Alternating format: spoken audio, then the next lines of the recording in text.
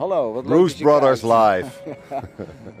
Oké Ron, volgens mij zijn we live. Een goedemorgen. Goedemorgen. Het is de, de ochtend eh, van de derde dinsdag in september, Prinsjesdag. Als je goed luistert hoor je ook mooie klassieke muziek. Het lijkt hier het concertgebouw wel. Precies. We zijn helemaal zen eigenlijk. Dit is de oefening live. Het is nou de oefening live. Kijk eens aan. Goedemorgen. We moeten in de plooien. Hé Ron, wanneer Ja. maak je dit nou mee? Nou, helemaal nooit eigenlijk. Helemaal Ik-. Nou, om nou echt te zeggen dat het echt soepel gaat. Nee, dus de troonrede. Zo, Kijk. de violisten hebben er zin in. Ja, dit had ik besteld als, voor als afsluiter.